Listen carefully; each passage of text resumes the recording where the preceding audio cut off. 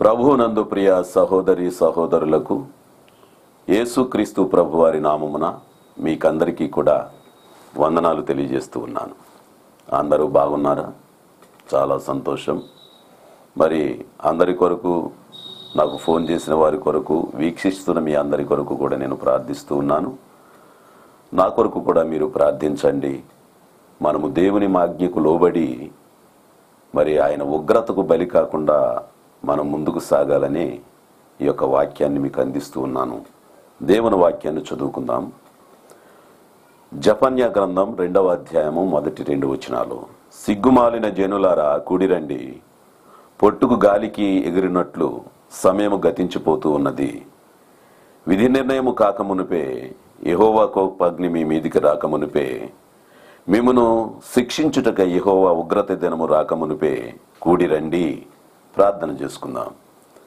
మహోన్నతుడా మహాగణుడా పరిశుద్ధుడా మా ప్రియ పరలోకపు తండ్రి మీ ఘనమైన నామమునకు స్థుతులు స్తోత్రాలు చెల్లిస్తూ ఉన్నాము. మీ బిడ్డనైన నేను నీ యొక్క వాక్యం వివరించటకు సిద్ధపడుతూ ఉంటుండగా నన్ను బలపరచండి. బిడ్డలు వింటూ ఉంటుండగా వాక్యాన్ని విడిచిపెట్టగా మీ ఉగ్రత నుండి తప్పించబడడానికి ప్రతి బిడ్డని సిద్ధపరచుమని మా ప్రభువును రక్షకుడునైనటువంటి యేసుక్రీస్తు ప్రభువారి పరిశుద్ధమైన నామమును బట్టి ప్రార్థన చేయుచున్నాను మా పరమ తండ్రి. ఆమెన్. ప్రియులరా దేవుడు మాట్లాడుతూ ఉన్నాడు. సిగ్గుమాలిన జనులారా మరి దేవుడు ఇటువంటి పదాన్ని ఉపయోగించాడు అంటే మానవులు విననొల్లని పిల్లలుగా ఉన్నారు అని. మూతన్న ఎక్కువగా రేష్గా ఎక్కువగా ఇటువంటి మాటలు ఎక్కువగా మాట్లాడుతూ ఉంటాడు ఏమిటి అంటే అసలు మన బ్రతుకులు ఎలా ఉన్నాయి ఆలోచన చేయాలి. నిజంగా దేవుడు మనల్ని నమ్ముతున్నాడా? నమ్మనప్పుడు ఏ పదం ఉపయోగిస్తాడు దేవుడు? అదే పదం ఉపయోగిస్తాడు. ఆనాటి నుండి ఈనాటి వరకు కూడా విననొల్లని ప్రజలను దేవుడు ఇప్పుడు కూడా ఆయన పదం ఉపయోగించిన వాటిని మనము గుర్తు చేసుకోవాలి.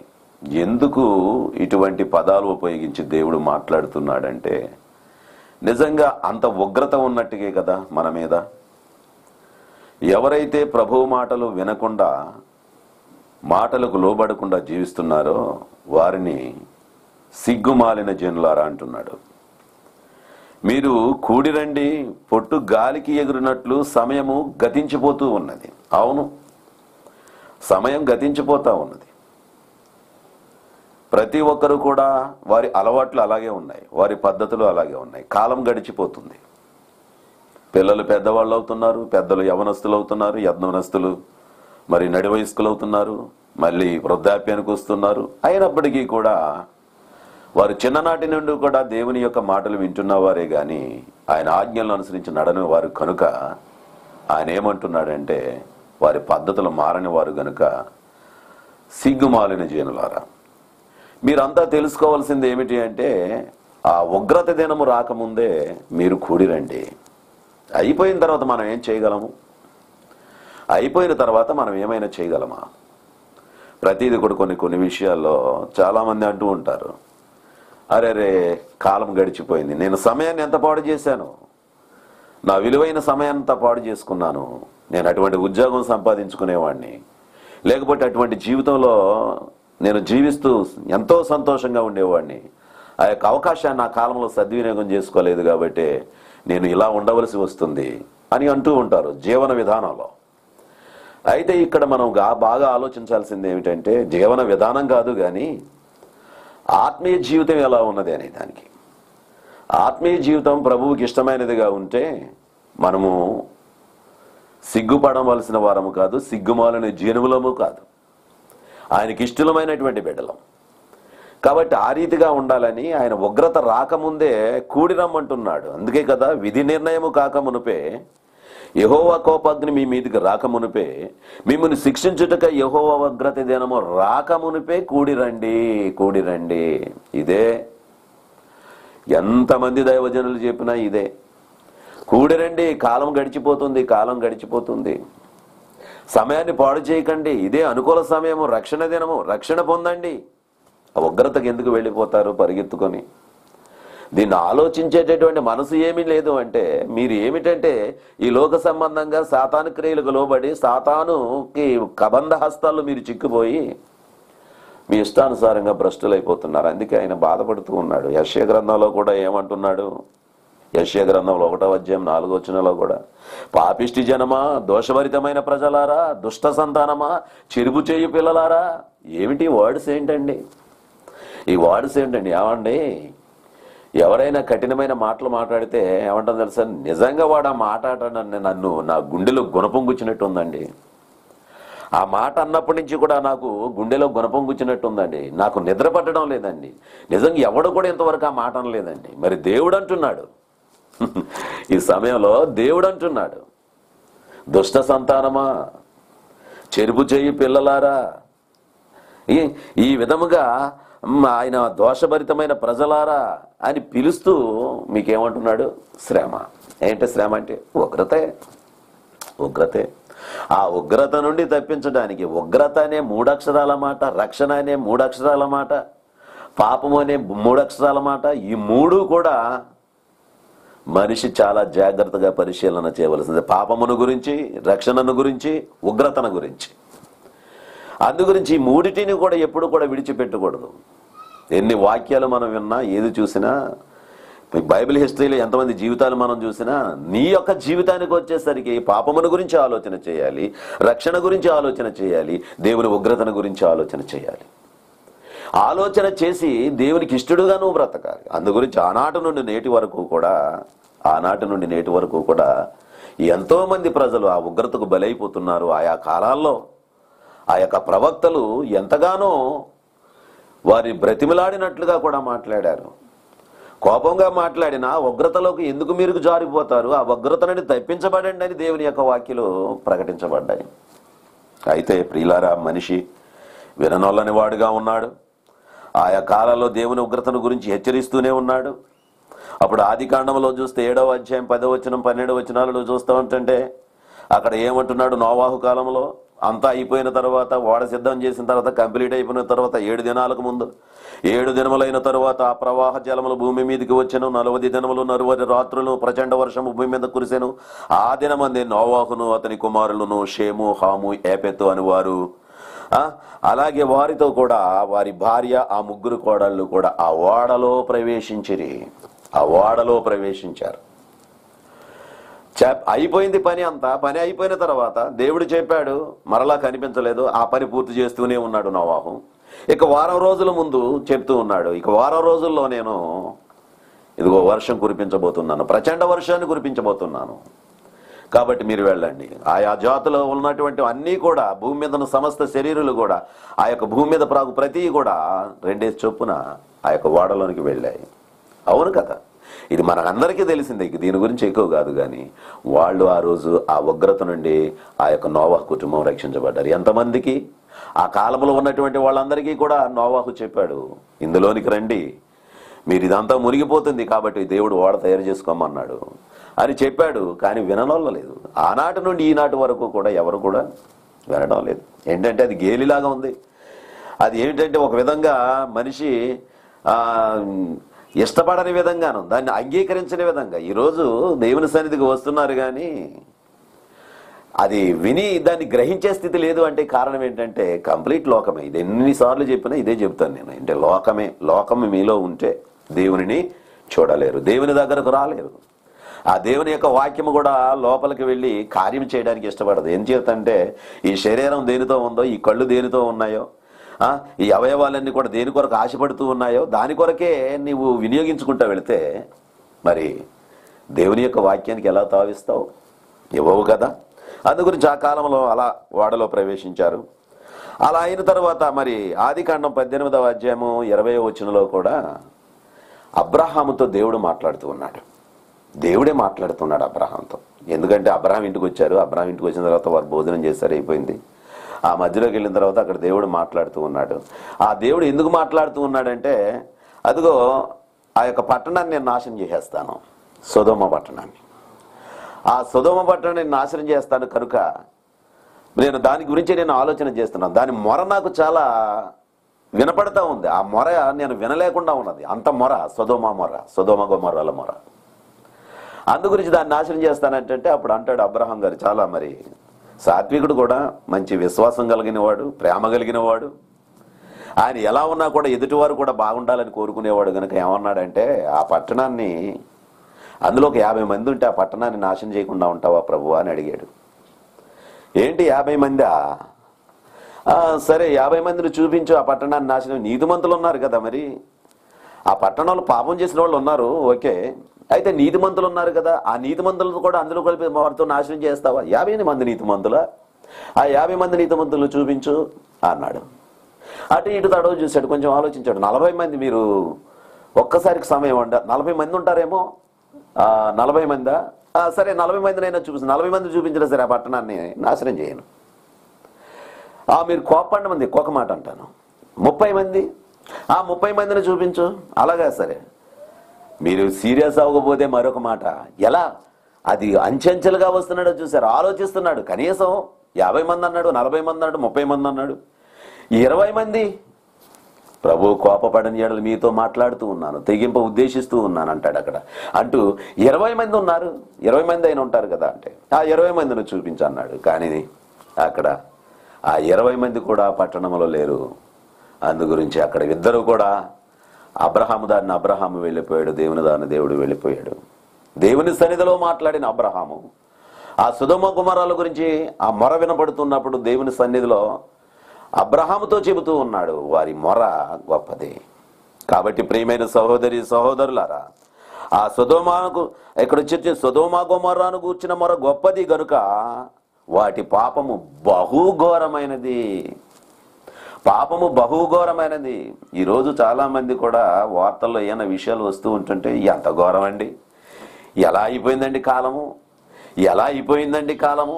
రకరకాలైనటువంటి విషయాలు చూస్తూ ఉన్నప్పుడు కొన్ని కొన్ని విషయాలు మనం అవి నిజమేనా అనిపించే విధముగా మన మధ్య జరుగుతూ ఉంటుంటే వార్తల్లో వింటూ ఉంటుంటే అయ్యో అని చెప్పి ఘోరమే అని చెప్పేసి అంటూ ఉంటాం కదా. అవును ప్రియులారా? ఆ సుధుమ గుమారాలు పాపం ఎటువంటిది అంటే చాలా భయంకరమైనది. అందుగురించే ద్వితీయోపదేకాశ కాండంలో అంటాడు చూడండి ముప్పై అధ్యాయం పంతొమ్మిదవ వచనంలో ఒక మాట అంటాడు దేవుడు. ఏమంటున్నాడు తెలుసా? నేడు జీవమును మరణమును ఆశీర్వాదమును శాపమును నీ ఎదుట ఉంచి భూమి ఆకాశముల మీద భూమి ఆకాశములను మీ మీద సాక్షులనుగా పిలుచుచున్నాను. భూమి ఆకాశములను మీ మీద సాక్షులుగా పిలుచున్నాను. సుధోమ మొర ఎవరు వినిపించారు? సుధోమ మొర ఎవరు వినిపించారు? భూమి వినిపించింది. ఆకాశం వినిపించింది. ఈ దేశం చూడండి ఈ పట్టణం చూడండి ఎంత భయంకరంగా ఉన్నదో. నేను దుబాయ్ ప్రాంతం వెళ్ళాను. మిగతా దేశాలు నేను ఇప్పుడు వెళ్ళలేదు కానీ దుబాయ్ ఒకసారి మొన్న వెళ్ళాను నవంబర్లో. వెళ్ళినప్పుడు అక్కడ ఉన్నటువంటి విషయాలను కొన్ని కొన్ని పరిస్థితులను చూస్తూ ఉంటే వామ్మో అనిపించేది. అంత భయంకరమా? అవును. కొన్ని కొన్ని సందర్భాల్లో సుధోమానే గుర్తొచ్చింది నాకు. అందుకే నేను గజగజలాడిపోయాను. సైలెంట్ అయిపోయాను. మాట్లాడలేకపోయేవాడిని అక్కడ ఉన్నటువంటి పరిస్థితులను చూసి. ఉన్నది ఉన్నట్టుగా చెప్పాను. ఆ ప్రకారంగా మీరు ఉంటే నిజంగా భయంకరమైనటువంటి స్థితికి దిగజారిపోతారు. ఆయన ఉగ్రతకు బలైపోతారు అని చెప్పాను. వచ్చేసాను. ప్రియమైన సహోదరి సహోదరులారా ఆలోచన చేయండి. ఆయన పంపించాడు నేను వెళ్ళాను చెప్పాను వచ్చాను. కేవలము నేను ఏ ఆశించి కూడా వెళ్ళలేదు. చెప్పాలనుకున్నాను. ఏనాడు కూడా అక్కడికి వెళ్ళి చెప్పాలని ముందు నుంచి కూడా నాకు ఎంతోమంది ఫోన్ చేసినప్పుడు కూడా నేను ఏమిటంటే వాటిని నిరాకరించాను. ఏంటంటే చాలామంది దైవజనులు వెళ్తున్నారు. మరి అంటే వాళ్ళందరూ చెబుతూ విన్నప్పుడు ఇంకా నేను కూడా ఎందుకు అనుకున్నాను? అయినా సరే వచ్చింది కదా అవకాశం అని వెళ్ళాను వాక్యాన్ని ప్రకటించి వచ్చాను. కానీ ఇక్కడ ఏమిటి అంటే ఆయన అంటున్నాడు ఆ యొక్క మొర ఏమిటి? ఆకాశము భూమి కూడా మొర పెడుతుంది అది అక్కడ. అందుకే ఏమంటున్నాడు మీ మీద సాక్షులనుగా పిలుచుచున్నాను. భూమి ఆకాశములను మీ మీద సాక్షులనుగా పిలుచుచున్నాను. అవును. అందుకే కదా ఆది కాండం నాలుగవ అధ్యాయము ఆ యొక్క పదవ వచనంలో కూడా ఉన్నటువంటి మాట అదే నీ తమ్ముని యొక్క రక్తము యొక్క స్వరము నేలలో నుండి నాకు మొరబెడుతుంది ఇది ఎన్నోసార్లు చెప్పాను. అందే కదా? నీ తమ్ముని రక్తము యొక్క స్వరము నేలలో నుంచి నాకు మొరబెడుతూ నువ్వు ఎక్కడ ఉన్నా ఏం చేసినా ఆ భూమి ఆకాశం నీకు సాక్షులుగా ఉన్నారు. ఎందుకంటే అవి మిమ్మల్ని చూస్తున్నాయి. ఎక్కడ దాక్కున్నా అవి మిమ్మల్ని చూస్తూ ఉన్నాయి. మిమ్మల్ని సాక్షులుగా పెట్టాడు అంటున్నాడు. దేవుని దగ్గర వీళ్ళందరూ కూడా రేపు సాక్షులుగా ఉంటారు. కాబట్టి ప్రియమైన వారలారా ఆ అలా దేవుడు ఆ మొర సుధోమోగమర్రాల మొర భరించలేనంత విధంగా ఉంది దేవుని దృష్టిలో. ఈరోజు ఎలా ఉంది? మన పా ప్రాంతం ఎలా ఉన్నది? మన యొక్క ఆలయం మన సన్నిధి ఎలా ఉన్నది? మనం ఉన్నటువంటి విశ్వాసుల జీవితంలో సాగుతున్నాం కదా మన వాళ్ళందరూ ఎలా ఉన్నారు? అందరూ బాగున్నారా? సుధోమ లాంటి పట్టణాలు లేకపోతే గ్రామాలు కానీ ఏ అయినా కావచ్చు మనకున్నట్టు పరిధిలో ఉండలేవా ఉన్నవి. ఉన్నవి దాచుకోవద్దు ఎవరు కూడా. ఉన్నవి ఒక్కొక్కనప్పుడు ఆయా సేవకులు కానీ అక్కడ ఉన్నటువంటి దైవ సంబంధమైనటువంటి బిడ్డలు అందరూ ఉన్నప్పుడు సుధోమలా అయిపోయింది ఏంట్రా ఇది? అవును. ఒక ఆయన అంటున్నాడు నా యొక్క గృహము నా యొక్క ఇల్లు మధ్య కూడా సుధోమ అయిపోయిందండి. ప్రార్థన చేయండి. చాలా భయంకరం. వినలేని మాటలు అవి. వినలేని మాటలు. సుధోమ అయిపోయింది. ఎవరు కాపాడగలరు? పునాదులు పాడైపోగా పట్టణమును ఎవడు కాపాడగలరు? అవును ప్రియులారా. అందు గురించి జాగ్రత్తగా పరిశీలన చేయండి. అటువంటిది ఏమిటంటే ఒక్క ఇన్సిడెంట్ ఆ లోతు దగ్గరకు ఇద్దరు దయ దేవదూతలు వస్తే ఆ దేవదూతలు వచ్చిన తర్వాత ఆ ఇంట్లోకి వచ్చి వారు ఉంటే ఆ లోతు గారు చెప్పాడు అదంతా మనకు తెలిసిన విషయమే. ఉంటే అక్కడ ఉన్నటువంటి వారు పంతొమ్మిదవ అధ్యాయం ఐదు నుంచి ఏడు వచ్చినాలు చూడండి. ఏమని అంటున్నారు లోతును పిలిచి ఈ రాత్రి నీ యొద్దకు వచ్చిన మనుషులు ఎక్కడా? ఆ మిస్టర్ లోతు. ఎక్కడ? మీ దగ్గరకు వచ్చారే ఇద్దరు మనుషులు. వాళ్ళు ఎక్కడున్నారు చూపించు. మరి వాళ్ళకి కావాలి. మేము వారిని కూడినట్లు మా యొద్దకు వారిని వెలుపలికి తీసుకురమ్మని అతనితో చెప్పగా తమ ద్వారమునొద్దనున్న వారి యొద్దకు వెళ్ళి తన వెనకకు తలుపు వేసి తన ద్వారం దగ్గర ఉన్న వారి వద్దకు వెళ్ళి వెనక డోర్ వేసి అన్నలారా ఇంత పాతకమును కట్టుకోవద్దు. అన్నలారా అన్నలారా ఇంత పాతకమును కట్టుకోవద్దయ్యా. నా ఇంటికి వచ్చారు. ఆ దేవుని మనుషులు నా ఇంటికి వచ్చారు. అందు గురించి దయచేసి అంతటి మాట అనకండి అయ్యా అంతటి మాట అనకండి అన్న. ఇంత పాతకమును కట్టుకోవద్దయ్యా ఎంత మంది. ఎంతో మంది ఎన్నెన్ని సందర్భాల్లో అన్నా అలాంటి మాట అనవద్దన్నా. అన్నా అలాంటి మాట అనవద్దన్నా. అయ్యా అంత ఘోరం చేయొద్దయ్యా. ఎన్నెన్ని కుటుంబాల్లో జరుగుతూ ఉన్నాయి ఎన్నెన్ని కుటుంబాల్లో జరుగుతూ ఉన్నాయి ఇటువంటి క్రియలు. అది సుధోమా కాదా? అది సుధోమా కాదా? పాప కార్యాలు జరుగుతున్నటువంటిది. భార్య దండం పెట్టి అయ్యా ఇటువంటి దుష్కార్యాలు చేయొద్దయ్యని భర్తను మొక్కుతూ ఉన్నా కూడా భర్త విననొల్లని వాడుగా. ఆ సుధుమ గుమరలో ఉన్నటువంటి వాడిగా. వాడి యొక్క పాపపు జీవితాన్ని కొనసాగించేవాడు లేడా ఈ రోజుల్లో? ఉన్నారు కదా. అందు గురించి మనము జాగ్రత్త సిగ్గుమాలిన జనులారా అనకపోతే దుష్ట సంతానం అనుకపోతే చెరుపు చేయి పిల్లలారా అనకపోతే ఏమంటాడు దేవుడు ఇటువంటి వారిని? చెప్పండి. ఆ? అందు గురించి ఎలాగ అడుగుతూ అంటున్నాడు ఇదిగో అంత మాట అనకండి ఇదిగో అయ్యా మీకు ఇంకొక అవకాశం ఇస్తున్నాను. ఏమీ లేదు ఏమీ లేదు పురుషుని కూడా నీ ఇద్దరు కుమార్తెలు నాకున్నారు కన్ని పిల్లలు నాకున్నారు ఇద్దరు కుమార్తెలు. వారిని మీ దగ్గరకు తీసుకొస్తాను మీ ఇష్టం వచ్చినట్టు. ఎంత నీతండి ఎంత నీతండి లోతుది.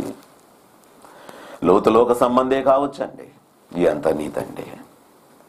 ఈ విధముగా ఉన్నటువంటి స్థితిలో నేను ఇంతకంటే ఏమి చేయను. వారి దేవుని యొక్క దోతలు వారిని మీరు ఏమీ చేయవద్దు. కావాలంటే ఈ విధంగా చేస్తానన్నట్టు చూడండి సుధోమ ఎంత భ్రష్టమైనది.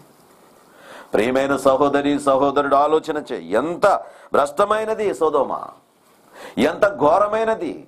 ఆలోచన చేయండి. అటువంటి స్థితిలో ఉన్నటువంటి సోదోమ అలాగే ఇప్పుడు ఆయా ప్రాంతాల్లో ఉన్నటువంటి బిడ్డలు. ఎంతమంది దైవ సేవకులు ఏడుస్తున్నారు? కొంతమంది దైవ సేవకులు కొంతమంది ఫోన్ చేసి కూడా చెబుతూ ఉన్నారు. బ్రదర్ నిజంగా ప్రార్థన చేయండి. నిజంగా మీరు వాక్యాలు మమ్మల్ని ఏదో అంటున్నారు అనుకున్నాం కానీ సేవకులైన మాకు ఒక బ్రదర్ అంటున్నాడు. సేవకులైన మమ్మల్ని విమర్శిస్తున్నారు అంటున్నారు కానీ కాదు బ్రదర్. మీలో ఉన్నటువంటి బాధ ఉంది. ఆ బాధను మేము అర్థం చేసుకున్నాము. ఆ బాధను మేము అర్థం చేసుకున్నాము. మా వైపున ఆలోచిస్తున్నారు. అటు మీ అటు ఆ మా సంఘంలో ఉన్నట్టు విశ్వాసుల వైపున కూడా మీరు ఆలోచించి మాట్లాడుతూ ఉన్నారు. అంతేకాదు మా దగ్గర ఉన్నటువంటి బిడ్డల గురించి కూడా మీరు మాట్లాడుతున్నారు. ఏ విధమైన ప్రలోభాలకు ఇటువంటి వాటికి లోబండి మీ మీ సంఘాల్లో ఉన్నటువంటి దైవ సేవకులను కూడా చూడండి. వారి మాటలు విని ఆధ్యాత్మికంగా బలపడండి అని చెబుతున్నారే. ఇది మాకు చాలా సంతోషాన్ని ఇచ్చింది బ్రదర్. అవును ప్రియమైన సహోదరి సహోదరులారా. ఎవరైనా దేవుని మాటలు చెప్పడానికి ఇప్పుడు ఎవరైనా సరే వాళ్ళ తీర్పు వాళ్ళు పొందుతారు. వాళ్ళ యొక్క ఉగ్రత వాళ్ళు పొందుతారు. దేవుడు చెప్పమన్నాడు చెప్పాలి. అంతేకాకుండా మన ఇష్టానుసారంగా మనం చెప్పి మరి మనం చేయని వారంగా ఉంటే ఆ ఉగ్రత ప్రతి ఒక్కరికి పొందుతుంది. కాబట్టి అక్కడ ఆ విధముగా లోతు అడిగాడు. పదమూడో వచనం చూడండి. పదమూడులో చూచండి. అక్కడ దేవుని దూతలు అంటున్నారు మేము ఈ చోటును నాశనము చేయవచ్చితిమి. ఏ చోటును? సుధోమాను ఆ నౌ- నాశనము చేయవచ్చిమి. వారిని గూర్చిన మొర గొప్పది. ఈ గొప్పగా యహోవ సన్నిధిలో గొప్పదాయను. వారిని మూర్చి వారిని గూర్చిన మొర యహోవా సన్నిధిలో గొప్పదాయను కనుక దాని నాశనం చేయుటకు యహోవా మమ్మును పంపినని చెప్పగా. ప్రణాళిక ప్రణాళిక. అందుకే ఎప్పుడు ఆలోచన చేయాలి. దేవుడు చూస్తూ చూస్తూ చూస్తూ చూస్తూ ఉన్నాడు. సుధోమాను ఎప్పటి నుంచో చూస్తూ ఉన్నాడు. ఇక తప్పదు అనుకున్నాడు. అక్కడికి అబ్రహాం కూడా వచ్చి అడుగుతున్నాడు. యాభై మంది ఉంటారేమో నలభై మంది ఉంటారేమో ముప్పై మంది ఉంటారేమో కాపాడవా? చూపించు అంతమంది ఉన్నా కాపాడతా.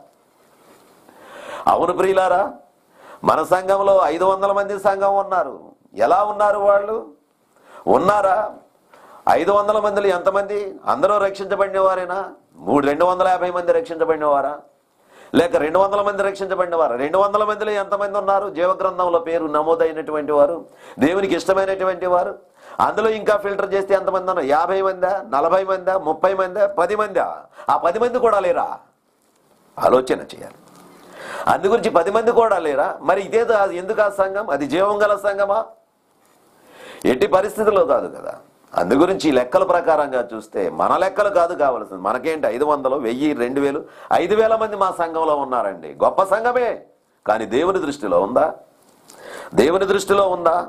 అందుకే ఆలోచన చేయాలి. ఆనాడు అందుకే మేము ఈ ఉగ్రతతో ఇక్కడ నుంచి మిమ్మల్ని తీసుకువెళదామని వచ్చాము కాబట్టి మీరు మమ్మల్ని పంపించారని చెప్పినప్పుడు ఆ విధముగా వారు అలర్ట్ అయ్యారు అందుకే ఆనాటి ఉగ్రత మొన్నటి ఉగ్రత అలా ఉంటే రాబోయే ఉగ్రత ఎలా ఉందో ఏ ఏ కాలాల్లో ఎటువంటి ఉగ్రతను ఇచ్చాడో దేవుడు చూపించబోతున్నాడు దేవుడు. దేవుని యొక్క వాక్యములు స్పష్టంగా చెబుతున్నాడు. అందుకే ఉగ్రత నుండి తప్పించబడడానికి. ఉగ్రత అనే మాట ఏదో సింపుల్గా అందరం అంటున్నాం. అసలు ఉగ్రత ఎలా ఉంటుందో ఎంత భయంకరంగా ఉంటుందో తెలుసా? ఈ మధ్యకాలంలో బోరుబావిలో పాప పడిపోయింది కదా. బోరుబావిలో పాప పడిపోతే ఆ పాప ఏదో ఉందని చెప్పేసి కొంచెం చూస్తా ఉన్నారు. ఆ యొక్క ఆ చెయ్యి కనబడుతుందని సీసీ కెమెరాలో చూశారు. చూసిన తర్వాత అమ్మో పాప బ్రతికే ఉంది.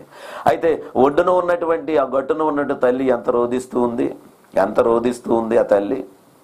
నా బిడ్డ ఎలా నలిగిపోతుందో గాలి సొరగదు. ఎక్క ఒక్కబోస్తుందో ఎంత విలవిలలాడిపోతుందో ఎలా ఉంటుందో ఏమిటంటే ఆ ఆ యొక్క ఆ భరించలేనటువంటి ఆ యొక్క ఆ గుంటలో ఆ యొక్క ఆ గొట్టం ద్వారా ఆ యొక్క బోరుబావి వ్యత్యా ఆ వ్యాసంలో ఇరుక్కుపోయినటువంటి ఆమె ఆ పిల్ల ఎంత యాతన అనుభవించిందో కదా. ఎంత యాతన అనిపించిందో కదండి. ఇలా ప్రతిదీ కూడా ప్రతిదీ కూడా కొన్ని కొన్ని సందర్భాల్లో మరణమయ్యే ముందు వచ్చేటటువంటి ఆ భయంకరమైనటువంటి నలుగుడు ఊపిరాడని నలుగుడు ఊపిరాడని నలుగుడు. ఒకానొకసారి కూడా ఒక సందర్భంలో రైల్వే యాక్సిడెంట్ అయ్యి రైలు యాక్సిడెంట్ అయితే ట్రైన్ యాక్సిడెంట్లో ఏదో ఊర్లో ఆ కెమెరాలో చూపిస్తూ ఉన్నాడు. ఇవన్నీ కూడా ఇక్కడ నొక్కేసాయి అతనికి. ఈ ఫేస్ ఇలా కనబడతా ఉంది? అతను బాధపడిపోతూ ఉన్నాడు. ఇవన్నీ క్రష్ అయిపోయాయి. అప్పుడు ఇవన్నీ తీసుకొని వచ్చి ఆ- వెల్డింగ్ మిషన్స్ అవి తీసుకొని వచ్చి ఆ కట్టర్స్తో కట్ చేసిన తర్వాత చేస్తూ చేస్తా ఉన్నారు. చేస్తా ఉంటే పని తేవటలేదు. ఆ గేజ్ వెడలుపు కదా కాబట్టి పని తేవట్లేదు. అతను చూపిస్తా ఉన్నాడు. ఎలా చూపిస్తా ఉన్నాడు? అతను బాధపడుతూ ఉన్నాడు. ఇదంతా నొక్కేసింది. బాధపడుతూ ఉన్నాడు. బాధపడుతూ ఉన్నాడు. ఇది ఓపెన్ చేయి కట్టర్ ఓపెన్ చేయకముందే అతను మళ్ళీ పన్నెండు గంటలకు చూస్తే అతను పన్నెండు గంటలకు బాధపడుతూ అలాగే చనిపోయి ఎంత యాతన అనుభవించాడు? ఒక బోరు బావిలో పడినటువంటి పిల్ల యాతన అనుభవిస్తుంది. ఒక విధంగా అందరూ యాతన అనుభవిస్తున్నారు. రకరకాల హాస్పిటల్లో ఉన్నటువంటి వాడు ఆ బాధతో యాతన అనుభవిస్తున్నాడు. ఇంతకంటే నేను చచ్చిపోతే మంచిది అనుకుంటున్నాడు. అసలు ఉగ్రత అంటే ఎలా ఉంటుందో కూడా అర్థం చేసుకోండి. ఉగ్రత చెప్పేదేగా ఉంటుంది కానీ అక్కడ అగ్ని ఆరదు పురుగు చావదు అనేటువంటి ఉగ్రత ఎలా ఉంటుందో ఎవరు కూడా వివరించలేరు. ఎందుచేతనంటే అదే మాటది. నరకమున వారి పురుగు చావదు. అక్కడ అగ్ని ఆరదు నరకమున వారి పురుగు చావదు. అంటే మరణమయ్యితే మరణం అయిపోయింది శరీరం. ఒక ఆత్మ ఆత్మ జీవించే ఉంది కనుక అక్కడికి వెళ్ళిన తర్వాత ఆ పనిష్మెంట్ ఎప్పుడు అలా ఉండవలసిందే? ఉడుకుతూ ఉండవలసిందే. ఉడుకుతూ ఉండవలసిందే. కనుక ఆ ఉగ్రత నుండి తప్పించడానికి ఆయన ఎన్నో విధాలకి ఇప్పుడు జీవిస్తున్నాం మనం. శ్వాస ఆడుతుంది. చక్కగా ఉన్నాం. గా శరీరానికి గాలి తగలాలి. అంతా చక్కగా ఉండాలి. ఫ్రీగా ఉండాలి. అబ్బా ఎంత చల్లటి వాతావరణం. దేవుడు ఎంత గొప్ప దేవుడు అంటున్నాం. అది ఇరుకొచ్చినప్పుడు ఇబ్బంది వచ్చినప్పుడు అలాగే కష్టం వచ్చినప్పుడు ప్రాణాపాయం జరుగుతూ ఉన్నప్పుడు హాస్పిటల్లో ఉన్నప్పుడు ఎంత నలిగిపోతూ ఉంటాం. ఆ కుటుంబం అంతా ఎంత నలిగిపోతూ ఉందండి. అందుకే ప్రియమైన వారిలో అసలైన సిసలైన రోజు ఒకటి ఉంది. ఆ ఉగ్రత నుండి తప్పించబడడానికి మనం సిద్ధపడాలి. అందుకే ఆ ఉగ్రత నుండి తప్పించబడటానికి ఆ యొక్క బాప్తీసు ఇచ్చి యోహాను కూడా మాట్లాడుతున్నాడు. ఎలా మాట్లాడుతున్నాడో చూద్దామా? మత్తయసు వార్త మూడవ అధ్యాయము ఏడు ఎనిమిది వచనాల్లో కూడా. నిన్నటి దినాన యోహాను గారు మాట్లాడుతున్నారు. మొన్నటి దినాన జరిగిన ఉగ్రతలు అవి. నిన్నటి దినాన యోహాను గారు వచ్చి మాట్లాడుతూ ఉన్నారు. ఏమని మాట్లాడుతూ ఉన్నాడు? బాప్తీసం ఇచ్చే యోహాను గారు. ఆ మతేసు వార్త మూడవ అధ్యాయం ఏడు ఎనిమిది వచనాలలో అతడు పరిశైలలోను సద్దుకయ్యలలోను అనేకులు బాప్తీస్మం పొందుట వచ్చుట చూచి ఎవరట వీళ్ళు? సద్దుకయ్యలు పరిశైలు వీళ్ళు దేవుడిని ఎరిగినటువంటి అంటే ఏమిటంటే ధర్మశాస్త్రాన్ని అనుసరించినటువంటి వాళ్ళు వీళ్ళంతా కూడా తెలుసు. వాళ్ళు తెలిసి కూడా ధర్మశాస్త్ర ప్రకారం నడవడం లేదు కనుక ఆ నీతిని కూడా నడవకుండా ఇప్పుడు ఏమంటున్నారు మాకు బాప్తిస్తం కావాలంటున్నారు. యోహాను బాప్తిస్తంతో అక్కడికి వచ్చేసారు వాళ్ళందరూ కూడా. మాకు కూడా బాప్తిస్తం కావాలంటున్నారు. అక్కడ అంటున్నప్పుడు ఆయన ఏమంటున్నాడు తెలుసండి? సర్ప సంతానమా ఎందాకేమన్నాడు ఆ ప్రవక్తలు? ఏమంటున్నారు? దుష్ట సంతానమా? సెరుపు చేయు పిల్లలారా. సిగ్గుమాలిన జనులారా. ఇక్కడ ఏమంటున్నాడు సర్ప సంతానమా? యేసుక్రీస్తు ప్రభు వారు ఏమన్నారు? సర్పములారా. ప్రియమైన వారులారా మనుషుల్ని ఈ భాష ఉపయోగిస్తున్నాడంటే ఆయన ఉగ్రత తీవ్రంగా ఉందని అర్థం. అది దీని అర్థం. మీకు చెప్పేది ఏంటి అంటే ఆ భాష ఉపయోగించాడు అంటే ఆయన ఉగ్రత చాలా తీవ్రంగా ఉంది. నాన్న అని పిలుస్తాం పిల్లవాడిని ప్రేమతో. రెండోసారి పిలిచి రే నాన్న అంటాడు మళ్ళా. మూడోసారి కూడా వాడు పలకపోతే ఎరా ఒళ్ళు కొవ్వెక్కిందా? ఎక్కడ చచ్చావు అంటాడు. అవును కదా. ఏంటంటే ఆ మాట ఒక్కొక్కటికి ఒక్కొక్కటికి ఎలా స్టెప్ స్టెప్గా మారిపోతా ఉంది. అందుకే దేవుడు ముందుగా ప్రేమతో పిలుస్తున్నాడు. ప్రియమైన నా కుమారుడా అందుకే యేసుక్రీస్తు ప్రభు వారు వచ్చిన నోట నుండి నేను శిక్ష విధించడానికి రాలేదు. మిమ్మల్ని రక్షించడానికే వచ్చానంటున్నాడు. కాబట్టి ప్రియమైన సహోదరి సహోదరులారు వాళ్ళు వస్తూ ఉంటే వాళ్ళ గురించి ఏమంటున్నాడు? సర్పసంతానమా? రాబో ఉగ్రతను తప్పించుకొనుటకు మీకు బుద్ధి చెప్పిన వాడు ఎవడు? మారు మనసుకు తగిన ఫలములు ఫలించండి. రాబో ఉగ్రతను తప్పించుటకు బుద్ధి చెప్పిన వాడు ఎవడు? ఆ ఉగ్రతను తప్పించడానికి మీకు ఆ జ్ఞానం రాకుండా దీనికి విధానంగా ఇక్కడ ఏమంటున్నాడు? రెండవ మాట మారు మనసుకు తగిన ఫలాలు ఫలించండి. అంటే ఏమిటి? దానికి తగిన ఫలాలు వీరిలో లేవు. ఆ విధానం కొంచెమైనా కనబడడం లేదు. ఇక్కడ ఏమిటంటే బాప్తిస్తం తీసుకోవడానికి వచ్చేస్తా ఉన్నారు. ఈ కాలంలో కూడా అనేక సంఘాలలో మీరు బాప్తిస్తం తీసుకోండి సంఘంలో చేర్చబడండి. అమ్మా నువ్వు కూడా బాప్తిస్తం తీసుకో. నువ్వు కూడా బాప్తిస్తం. ముంచేయి ముంచేయి ముంచేయి ముంచేయి మందలో కలిపేయి. ఆ విధంగా చూసుకుంటున్నారు కానీ వారి ఫలాలు ఎలా ఉన్నాయి? వారి మారు మనసు ఎలా ఉంది? కొంతమంది అంటారు ఆ కాలంలో చూడండి బ్రదర్ ఎంతమందికి బాప్తిస్తాలు అడిగిన వెంటనే ఇచ్చేశారు కదా. మీరెందుకంటే బ్రదర్ అబ్జర్వ్ చేస్తానంటారు అది అంటారు ఇది కొన్ని వెయిట్ చేయండి అంటారు. ఏం బ్రదర్? బాప్తిసం తీసుకున్నంత మాత్రాన కాదు నువ్వు. ఆల్రెడీ నువ్వు దేవుని దగ్గరకు వెళ్ళి ఒప్పుకున్న తర్వాత ఒక తీర్మానం కలిగిన తర్వాత నువ్వు రక్షించబడిపోయావు. ఇక బాప్తిసం ఏమిటి అంటే నువ్వు సంఘంలోకి చేర్చబడేటువంటి ఒక గుర్తుగాను ఉంది. మరి వాక్యం చెప్పిన ప్రకారంగా ఆత్మ మూలంగాను నీటి మూలంగాను బాప్తిసం పొందాలి కాబట్టి అది నువ్వు చేయాలి దాని ద్వారా నువ్వు ఉత్తర జన్మగా నువ్వు పొందుతావని చెప్పి దేవుని యొక్క వాక్యం ఉంది. అయితే నువ్వు ఎప్పుడైతే తీర్మానం చేసుకున్నావో ప్రభువుని ఎప్పుడైతే రక్షకుడిగా అంగీకరించి అప్పుడే ఉగ్రత నుండి తప్పించబడిపోయి నువ్వు. అది గుర్తుపెట్టుకోవాలి. అది గుర్తుపెట్టుకోవాలి. ఉగ్రత నుండి నువ్వు ఆల్రెడీ తప్పించబడిపోయి ఎప్పుడైతే నన్ను క్షమించవని. ఏ విధమైనటువంటిది అది? దైవ చిత్తానుసారమైన దుఃఖం. ఆ దైవ చిత్తానుసారమైన దుఃఖం నీకు కలిగితే నేను పాపిని ప్రభు పాపిని ప్రభు నా పాపముల కొరకే నువ్వు చనిపోయావు ప్రభు అని ఏ- ఏడ్చి విధంగా నువ్వు నీ ఇంకెల్లవేళలా కూడా నా కొరకేనా నా కొరకేనా? అవును. ఆ విధముగా మా డాడీ నా కొరకే ఇంత చేశాడు నా కొరకే ఇంత చేశాడు నన్ను ఇంతవాడిని చేశాడు నన్ను కలెక్టర్ని చేశాడు నన్ను గొప్పవాడినిగా చేశాడు కష్టపడి పని చేసి కూలి పని చేసుకుని నా తండ్రి ఎలా చేశాడు అని చెప్పేసి హాస్పిటల్లో ఉన్న నీ తండ్రి దగ్గర చూస్తే ఆ యొక్క ఐసీలో చూస్తూ కనబడుతున్నట్టు నీ తండ్రిని చూసి గోలే ఏడుస్తావు డాక్టర్ ఎంత డబ్బైనా పర్వాలేదు ఎంత డబ్బైనా పర్వాలేదు నా తండ్రి నా తండ్రి నా తండ్రి అంటావు. మరి నీ ప్రభు నీ కొరకు నా కొరకు ప్రాణం పెట్టిన ప్రభు ఆయన గురించి ఎప్పుడైనా ఆలోచన చేసి దైవ చిత్తానుసారమైన దుఃఖంతో వచ్చావా? ఈరోజు చాలామంది ఈ దైవ చిత్తానుసారమైన దుఃఖం లేకుండా మామూలుగా వచ్చేసి వారు ఎంటర్ అయిపోతున్నారు కనుక వారి జీవితాల్లో ఏమిటంటే మారు మనసు తగిన ఫలాలు ఉండవు వారికి నలుగుడు ఉండదు ఆత్మ సంబంధమైన మంట కూడా ఉండదు. కేవలం నీట్గా ఉండాలి అందరిలాగా ఉండాలి. ఆ రిచ్గా ఉండాలి. ఎక్కడ కూడా మనం తక్కువగా కనబడకూడదు అనేటువంటి ఉద్యమం వారి క్రైస్తవులు కానే కారు. దేవునికి ఇష్టమైన బిడ్డలు కానే కారు. కాబట్టి ప్రియమైన వారలరా అందు గురించి ఇక్కడ మారు మనసుకు తగిన ఫలము పొందండి అంటున్నాడు. అందుగురించి అందు గురించి యేసుక్రీస్తు ప్రభు వారు కూడా దీని గురించే ఆనాడు గుర్తు చేస్తూ వచ్చారు. ఆనాడు గుర్తు చేస్తూ వస్తారు ప్రభు. ఏమని అన్నారు ఆ యొక్క లూకాసు వార్త పదిహేడవ అధ్యాయం ఇరవై ఆరు నుంచి ముప్పై మూడు వచనాల్లో చూస్తే కనపడుతుంది. నోవాహు దినములలో జరిగినట్టును లోతు దినములలో జరిగినట్టును ఎలా ఉంటుందట? నోవాకు దినములో ఏం చేస్తూ ఉన్నారు? వాళ్ళు ఇష్టానుసారంగా వాళ్ళు నడుస్తూనే ఉన్నారు. లోతు దినాల్లో పెళ్ళికి ఇయ్యబడుచు వరి నాట్లు నాడుచు ఇన్ని ప్రకారంగా చేస్తున్నారు. వారు అలాగే ఉన్నారు. ఈ ప్రకారంగా జరుగుతుంది. రెండు కూడా అలాగే జరిగాయి. ఇప్పుడు యేసుక్రీస్తు ప్రభు వారు వచ్చే కాలంలో ఎలా ఉంటుంది అనేది కూడా అక్కడ చెప్పారు. అలాగా ఎవరు పని వాళ్ళు చేస్తూ ఉంటారు ఎవరు పని వాళ్ళు వాళ్ళు చేస్తూ ఉంటారు. ఆయన రాకడ ఉంటుంది. ప్రియమైన సహోదరి సహోదరుడా ఆలోచన చేయి.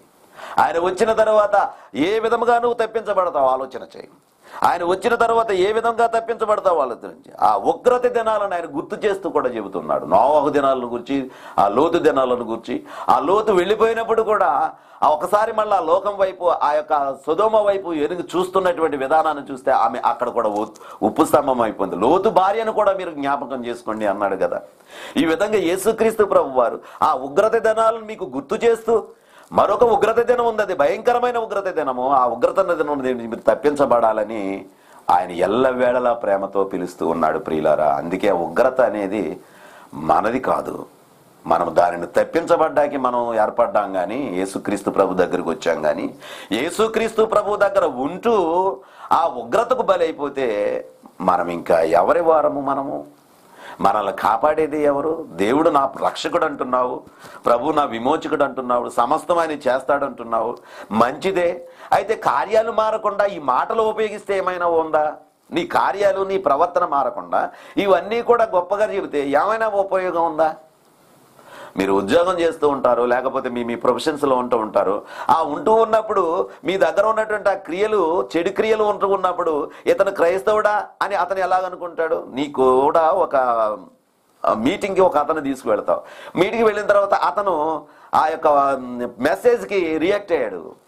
అరే గొప్పగా ఉందే దేవుని యొక్క వాక్యం. ఎంత పరిశుద్ధతగా ఉండాలా దేవుని పిల్లలు అని చెప్పేసి అనుకుంటా. నిజంగా అంత పరిశుద్ధతగా ఉంటే పరలోకానికి వెళ్తారు కదా అని అనుకుంటాడు. ప్రక్కన నువ్వు నువ్వు కూడా నీ పేరు క్రిస్టాఫర్. రండి క్రిస్టాఫర్ గారు అని చెప్పేసి ఏంటంటే వాక్యం అంత ఎలా ఉంది మరి? మీరేంటండి ఎలాగంటారండి మీరు ఏం చేస్తారు అప్పుడు? ఏ విధంగా మీరు ఆయన దగ్గర సమాధానం చెప్పగలరా? క్రైస్తవులు అంటే ఎలా ఉంటారని వాక్యం చెబుతున్నారు కదా. మరి మీరు ప్రభువుని ఎరిగిన వారే కదా. మీరు లంచం తీసుకుంటున్నారేంటి?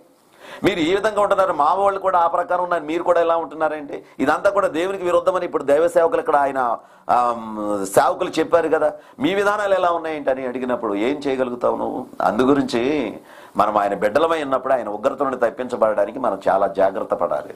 చాలా జాగ్రత్తగా ఉండాలి. ఏ టైంలో మనం పడిపోతామో అనేది చూసుకోవాలి. పడిపోకుండా జాగ్రత్తగా వెళ్ళేవారంగా ఉండాలి. అట్లా వెళ్తే మనం ఆశీర్వదించబడతాం. అందుకే ప్రభువారు ఆ ప్రకారంగా చేశారు. అందుకే పేతురు గారు కూడా ఈ ఉగ్రత దినం గురించి బాగా వివరిస్తున్నారు. ఎలాగో చూద్దాం. ఒకసారి పేతురు రాసినటువంటి రెండవ పత్రిక మూడవ అధ్యాయము తొమ్మిది నుండి పన్నెండు వచ్చినాలు చూద్దాం. పేతురు రాసిన మూడవ పత్రిక తొమ్మిదవ అధ్యాయము పన్నెండు మూడవ అధ్యాయము తొమ్మిది నుండి పన్నెండు వచ్చినారు కొందరు ఆలస్యమై ఎంచుకున్నట్లు ప్రభు తన వాగ్దానమును గురించి ఆలస్యం చేయవాడు కాడు కానీ ఈరోజు చాలామంది ఏమంటున్నారంటే యేసుక్రీస్తు ప్రభు వస్తాడా? మొన్న ఒక బ్రదర్ ఒక ఆయన అంటే వారు దేవుణ్ణి అరగని వారు ఇప్పుడు మీ నిరీక్షణ ఏంటండి మూర్తి గారు? అసలు ఏంటండి మీరు ఉదయకాలం ఏదో చేస్తున్నారు కదా? సువార్త ఏదో చేస్తున్నారు కదా? ప్రభు వస్తాడు ప్రభు వస్తాడు అంటున్నారు. ఎప్పుడు వస్తాడు ఏంటని ఉంది? ఎప్పుడో కాదు బ్రదర్ ఎప్పుడైనా రావచ్చండి. ఇప్పుడే మన మధ్య మన మధ్య ఇప్పుడు కూడా రావచ్చు. దాన్ని చెప్పలేము. ఆ సమయం ఎలా ఉంటుందో మనం చెప్పలేమండి. అందుగురించి ఆయన వచ్చారండి ఒకసారి. ఆయన మాకు రక్షణ ఇచ్చారండి. ఆ రక్షణ పొందినటువంటి మేము కొనసాగిస్తూ ఉంటుండగా ఆయన ఏదో సమయంలో వస్తారని మా మా ప్రాణ పోకడో ఆయన రాకడో. ఏదో ఒకటి జరుగుతుంది కాబట్టి మనము పోయే వరకు కూడా ఆయన రాకడ కొరకు ఎదురు చూసేవాళ్ళంగా ఉండాలి. ఆ ఆ నిరీక్షణ కొరకే మేము బ్రతుకుతున్నామండి అంటే. అదేనండి మీరు చెప్పే మాటలు మాకు బాగా అర్థమవుతున్నాయి కానీ మరి అలాగ నిజంగా ఉన్నారా అన్నాడు. నన్నే అడిగాడు ఎవరినో కాదు నన్నే అడిగాడు. నిజంగా అలా ఉన్నారా మీరు? ఆయన దేవుని ఎరగనివాడు. ఆయన దేవుని ఎరగనివాడు. ఆయన అడిగాడు నిజంగా మీరు అలా ఉన్నారా?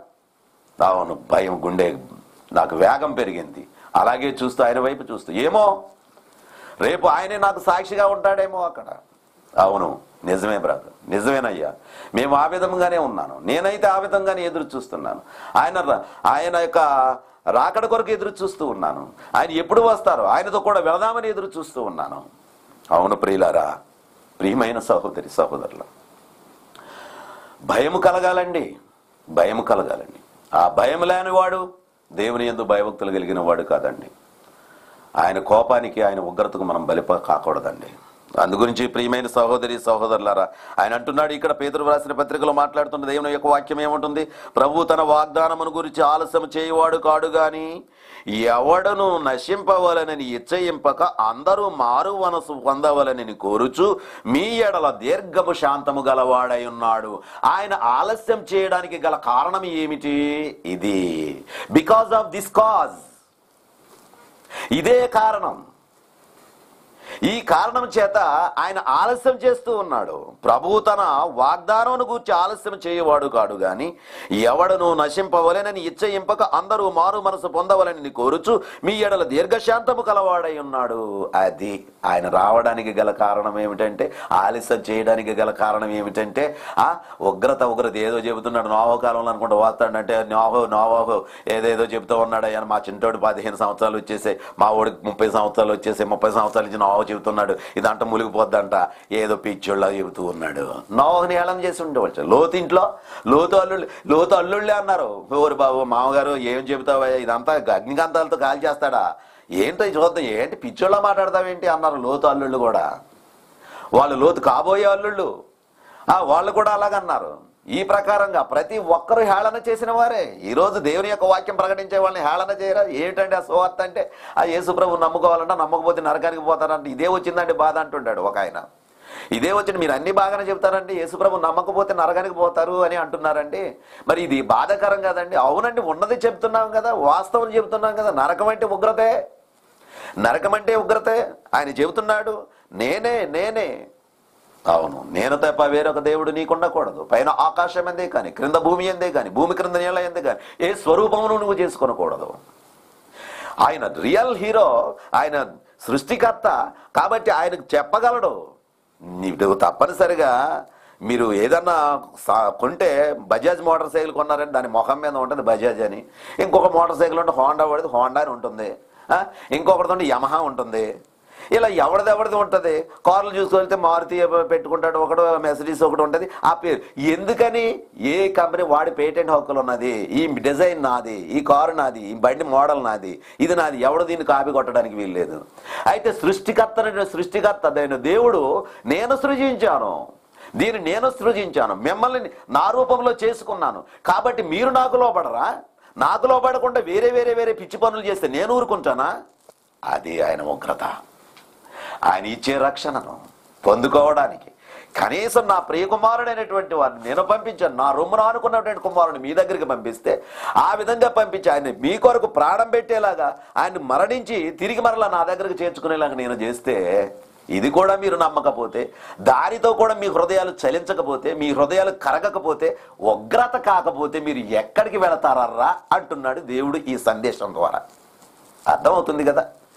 ఆ ఉగ్రత కాకపోతే ఏమిస్తాడు? విననొల్లని బిడ్డలకు ఆజ్ఞల ప్రకారంగా నడవని బిడ్డలకు ఆయన ఉగ్రత కాకపోతే ఏమిస్తాడు? అందుకే ఆలస్యం ఎందుకు చేస్తున్నాడంటే ఇప్పుడైనా రేపైనా ఎల్లుండైనా మారు మనసు పొందుతావు రక్షించబడతావు నువ్వు లైన్లోకి వస్తావు అని మీ ఎడల దీర్ఘశాంతము గలవాడై ఉన్నాడు.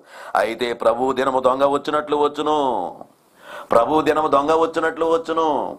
అవును కదా? ఏ సమయాన మీ ఇంట్లో దొంగలు పడతారో మీకే తెలియదు. ఏమైనటువంటి వార్తలు ఏమైనా వస్తూ ఉంటే ప్రభుత్వం వారు చిన్న జీప్ మీద పంపిస్తారా? మన ఊర్లకు దొంగలు వచ్చారంటే జాగ్రత్తగా ఉండండి జాగ్రత్తగా ఉండండి. అబ్బో దొంగలు వచ్చారా? అమ్మమ్మ జాగ్రత్తగా ఉండాలి. ఆ, యేసుప్రభు వస్తాడంటే యేసుప్రభు వస్తాడంట బైబిల్ వాక్యం చెబుతూ ఉంది దేవుని సేవకులు చెబుతున్నారు. ఆ యేసుప్రభు వస్తాడా చిన్నప్పటి నుంచి చెబుతున్నారు. యేసుప్రభు వస్తాడంట. వస్తాడంటావా? వస్తాడంటావా?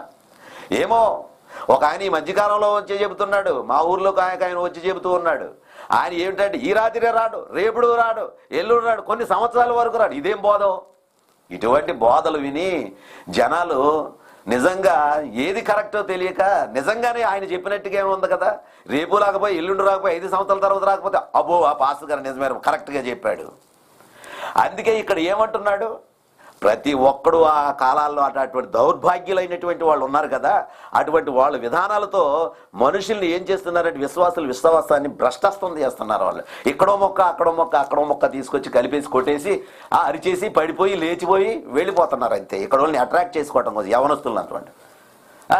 ఇటువంటివి కాదు. నిజంగా వాక్యాన్ని చూస్తాను ఆయన దొంగలా వస్తాడంటే కారణం ఏమిటంటే అన్ఎక్స్పెక్టెడ్గా ఆయన ఎప్పుడు వస్తాడో మనకు తెలియదు. ఆయన వస్తాడు వచ్చిన వెంటనే అప్పుడు ఉన్నటువంటి ఆ కాలం ఎలా ఉంటుందో చూస్తున్నాం కదా. ఏమంటున్నాడు?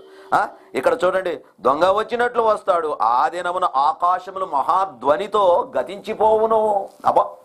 ఆ దినమున ఆకాశంలో మహాధ్వనితో గతించిపోవును. మా ఏరియాలో పాసెలపూడి ఏరియాలో బ్లో అవుట్ అయింది కొన్ని సంవత్సరాల క్రితం. అది కొన్ని నెల రోజులు ఇంచుమించు కాలుతాను వంద పైకి. దాన్ని ఆఫ్ చేయడానికి చాలా తిప్పలు పడ్డారు. అయ్యో ఏం కాలిపోతా ఏమైపోతా ఏమైపోతా. ఆ పక్కన ఉన్నటువంటి వాళ్ళందరూ కూడా ఆ చుట్టుప్రక్కల ఉన్న వాళ్ళందరూ ఖాళీ చేశారు. ఏమో ఏం ప్రమాదం జరుగుతుందో. ఒక భూమిలో నుంచి వచ్చినటువంటి చిన్న బ్లో అవుట్కి మనుషులు ఈ విధంగా అయిపోతూ ఉంటే ఒక దేవుడు ఉగ్రతతో వస్తూ ఉన్నప్పుడు దీన్ని ఇంత లైవ్ చేయడానికి వస్తూ ఉన్నప్పుడు ఆ యొక్క మొత్తం ఇక్కడ కంప్లీట్ నాశనం చేయాలని వస్తూ ఉన్నప్పుడు అది ఎలా ఉంటుందంట ఇక్కడ అదే చెబుతున్నాడు. ఏ విధంగా ఉంటుందో చూడండి. ఆయన ఏమిటో ఆకాశములు మహాధ్వనితో గతించిపోవును భూతములు మిక్కటమైన వేండ్రముతో లయమైపోవును భూమి యూదు దాని మీద ఉన్న కృత్యములు కాలిపోవును ఇవి అన్నీ ఇట్లు లయమైపోవనివి కనుక ఆకాశములు రవులు కొని లయమైపోవునట్టియు భూతములు మహావేంద్రముతో కరిగిపోవునట్టియు. దేవుని దినము ఆగమున కొరకు కనిపెట్టుచు దానిని ఆశతో అపేక్షించుచు మీరు పరిశుద్ధమైన ప్రవర్తనతోనూ భక్తితోనూ ఎంతో జాగ్రత్త గలవారై ఉండాలి. అర్థమవుతుందా? అర్థం అవ్వాలి అర్థం చేసుకోవాలి. జరగాల్సింది ఇది. ఇక్కడ చెబుతున్న మాటలు మరొకసారి చూడండి. మరొకసారి చూడండి.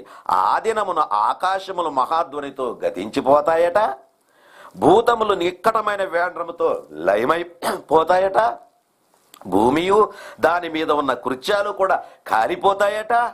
ఇవన్నీ ఇట్లు లయమైపోవునవి కనుక ఆకాశములు రవులుకొని ఆకాశములు మహావేంద్రముతో కరిగిపోవునట్టు కనుక ఆకాశములు రవులుకొని లయమైపోవునట్టియు భూతములు మహావేంద్రముతో కరిగిపోవునట్టియు దేవుని దినము ఆగమనము కొరకు కనిపెట్టుచు దానిని ఆశతో అపేక్షించుచు మీరు పరిశుద్ధమైన ప్రవర్తనతోనూ భక్తితోనూ ఎంత శ్రద్ధ గలవారై ఎంతో జాగ్రత్త గలవారై ఉండవలెను ఉండవలెను. అదే కదా ఎందాక అడిగాడు ఆయన.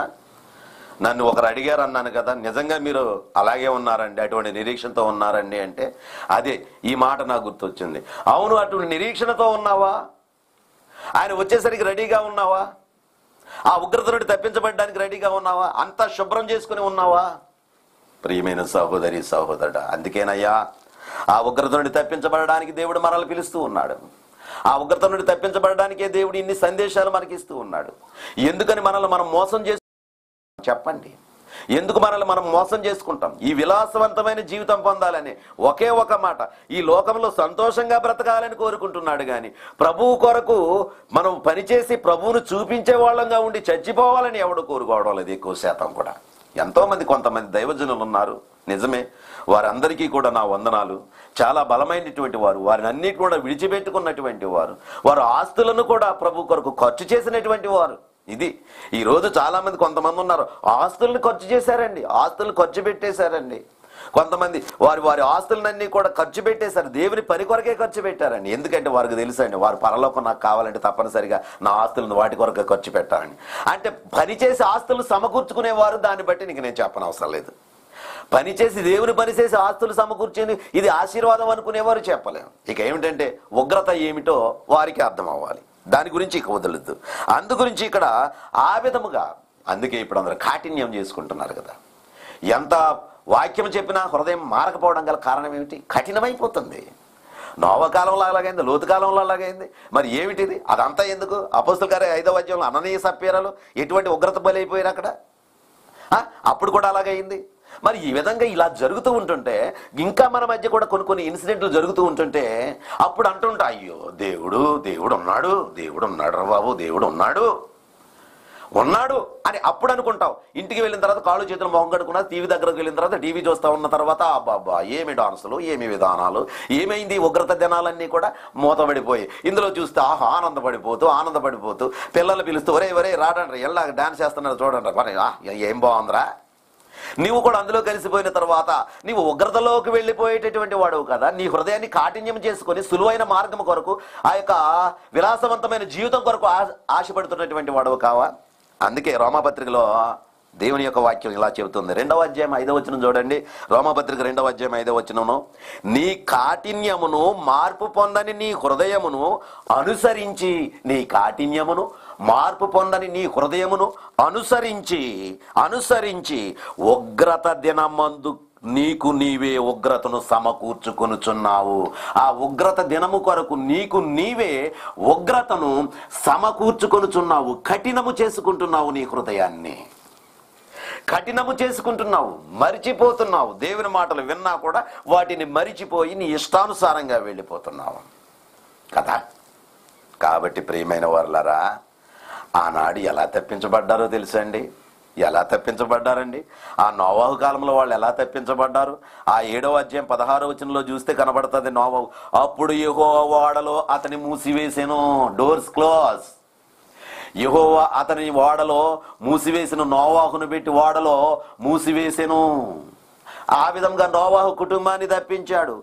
పంతొమ్మిదవ అధ్యాయం పదవ వచనంలో లోతు కుటుంబంలో ఏం చేశాడు? అయితే ఆ మనుష్యులు చేతులు చాపి లోతును ఇంటి లోపలికి తమ యొద్దకును తీసుకొని తలుపులు వేసిరి. లోతును తమ యొద్దకు తీసుకొని ఏం చేశారు? తలుపులు వేశారు. వాళ్ళకి రాకుండా వాళ్ళకి కనబడకుండా అక్కడ మైకం కలుగజేసి ఆ విధంగా వాళ్ళను కాపాడారు. చూసారా మత్త వార్తలో ఇరవై ఐదు అధ్యాయంలో అక్కడ బుద్ధి లేని కన్యకలు బుద్ధిగల కన్యకలు ఉన్నారు కదండి. ఆ బుద్ధిగల కన్యకలు ఏమి చేశారు? అప్పుడు సిద్ధపడి ఉన్నవారు ఇరవై ఐదవ అధ్యాయము పది పదకొండు వచనాలలో ఉంది. అప్పుడు సిద్ధపడి ఉన్నవారు అతనితో పెండ్లు విందు లోప పిండ్లు విందుకు లోపలికి పోయిరి. అంతటా తలుపు మూయబడిను. సిద్ధపడి ఉన్నవారు పెండ్లు విందుకు యేసుతో లోపలికి వెళ్ళిపోయారు. ఆ పెండ్లు కుమారునితో లోపలికి వెళ్ళిపోయారు. సిద్ధపడని వారు బయట ఉండిపోయారు. అంతటా తలుపు వేయబడెను. తలుపు వేయబడను. ఈ తలుపు ఈ సువార్త ప్రకటించబడుతూ ఉంది. ఇప్పుడు అందరికీ కూడా సువార్త ప్రకటింది ఈ సువార్త క్లోజ్ అయిపోతుంది. అవును ప్రియులారా అప్పుడు నీకు వినాలంటే కనిపించదు. ఇంకా అంధకారం అయిపోతుంది. నీ జీవితం ఏమిటో ఆలోచన చేసుకో. నీవు ప్రభుని గురించి తెలియనటువంటి స్థితి. అంటే అర్థం ఏమిటో తెలుసా? నీ సువార్త క్లోజ్ అవుతుందంటే విననొల్లని నీ హృదయమే. నీలో సువార్త ఆగిపోయింది. ఎంత చెప్పినా అది ఎక్కడం లేదు. అది దానార్థం. సువార్త ముగించబడడం అంటే ఏమిటో తెలుసా? నీ ఆత్మకు ఇక సువార్త ప్రకటించబడదు. ప్రకటించినది విననొల్లని ఉన్నావు గనుక నీ యొక్క ఆత్మ సంబంధమైన తలుపు భ్రష్టత్వానికి అప్పగింపబడి ఉగ్రత కొరకు సిద్ధపడి ఆ విధంగా డోర్ క్లోజ్ అయిపోయింది. నువ్వు ఎన్ని ప్రసంగాలు విన్నా ఎన్ని చేసినా నువ్వు రక్షణ పొందలేవు. ఏమిటి ఇలా మాట్లాడుతున్నాడా? అవును. ఏంటంటే అటువంటి విధమైనటువంటి స్థితిలోని కనురెప్పపాటులో అయిపోయారు కదండి వాళ్ళు.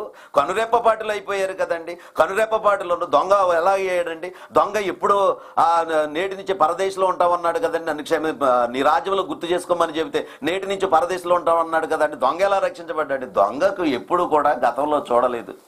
అదే ఫస్ట్ టైం యేసుక్రీస్తు ప్రభుని చూడటం కూడా. ఆ చూసిన కొంచెం సేపట్లో కూడా అతని యొక్క మూమెంట్స్ని అబ్జర్వ్ చేస్తూ ఉండి తప్పనిసరిగా ఈయన దగ్గర పరలోకం ఉంది ఈయన దగ్గర నిత్యజీవం ఉందని చెప్పేసి అప్పుడు అంటున్నాడు ప్రభా నీ రాజ్యంలో నన్ను గుర్తు చేసుకుంటున్నాడు మనకేంటి? చిన్నప్పటి నుంచి తెలుసు మనకి. దేవుని వాక్యం తెలుసు. దేవుని జావకులు చెప్పే మాటలన్నీ తెలుసు. క్రిస్మస్లు తెలుసు జనవరిలు తెలుసు ఈస్టర్లు తెలుసు. ఇవన్నీ తెలుసు ఇవన్నీ తెలుసు. అసలు ఒకటి విషయం తెలియదు ఏమిటి అంటే బల్లలో పాల్గొనే విధానం ఏమిటో తెలియక గడ్డి తిన్నట్టు తినేసి చప్పరించేసి వచ్చేస్తూ మళ్ళా యథావిధిగా వెళ్ళిపోతున్నారు. ఉగ్రతలో ఉన్నారు వారంతా కూడా. ఉగ్రతలో ఉన్నారు. కనుక ఇది క్షమించరాని విషయం దేవుడు. కాబట్టి ప్రియమైన వరులరా ఆ విధముగా ఆ విధముగా వారు ఉగ్రత నుండి తప్పించబడ్డారు. ప్రియమైన తమ్ముడు ప్రియమైన చెల్లి ఉగ్రత నుండి తప్పించబడ్డావా నువ్వు? ఈ సమయంలో తప్పించబడే ఉన్నావా? నువ్వు నిజంగా తప్పించబడే ఉన్నావా? నేను నువ్వు ఆలోచన చేసుకో. తప్పించబడితే సంతోషమే.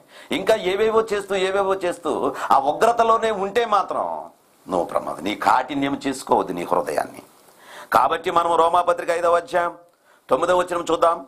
రోమపత్రిక ఐదవ అధ్యాయం తొమ్మిదవ వచనంలో కాబట్టి ఆయన రక్తము వలన ఇప్పుడు నీతిమంతులముగా తీర్చబడి ఆయన రక్తము వలన యేసుక్రీస్తు ప్రభు రక్త వలన మనము నీతిమంతులముగా తీర్చబడి మరింత నిశ్చయముగా ఆయన ద్వారా యేసుక్రీస్తు ప్రభు ద్వారా ఉగ్రత నుండి రక్షించబడుదుము. ఉగ్రత నుండి రక్షించబడుదుము. ఉగ్రత నుండి రక్షించబడుదుము. ప్రార్థన చేసుకుందాం.